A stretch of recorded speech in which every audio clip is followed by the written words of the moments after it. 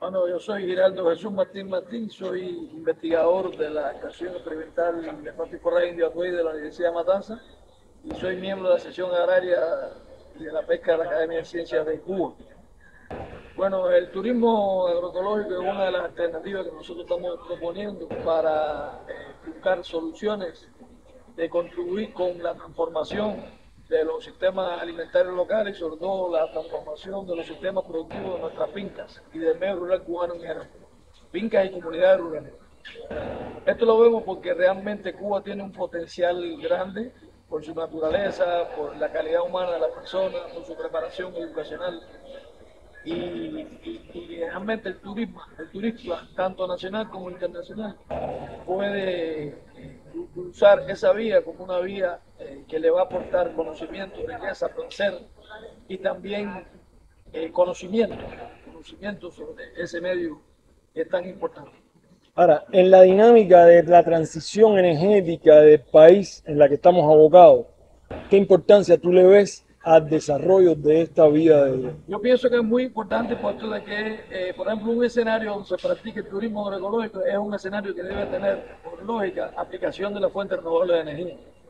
Y además, eh, ese escenario donde reciba turistas va a tener posibilidad de captar un financiamiento que lo va a poder reinvertir en el desarrollo de esa fuente renovable de energía. Entonces, eh, a mí me parece que puede ser muy provechoso siempre y cuando también se logren encadenamientos de fincas, de escenarios para este tipo de turismo a escala local, en los cuales, vinculados con las comunidades rurales, se pueda prestar un servicio muy superior desde el punto de vista de calidad ambiental al servicio que puede recibir un turista en un hotel pleno de sol y playa un hotel eh, cualquiera destinado a, lo que es la actividad comercial del turismo Ahora, en la cultura local de la agroecología. ¿Qué implica esto en términos de conocimiento, en términos de preparación, en, estos términos? Bueno, realmente la agroecología eh, está como un proceso en el país en marcha desde hace varios años y por supuesto requiere todavía de mucha creación de capacidades, eh, mucha enseñanza a nivel de los escenarios productivos, a nivel de las comunidades rurales, la gente tiene que aprender a vivir en armonía con el medio ambiente. La gente no puede vivir destruyendo el medio ambiente. Hoy por hoy, por ejemplo, uno de los principales problemas que hay en nuestras comunidades es el tema, por ejemplo, eh, el tratamiento de residuales de las comunidades, el sistema de abasto de agua de las comunidades, el sistema de alumbrado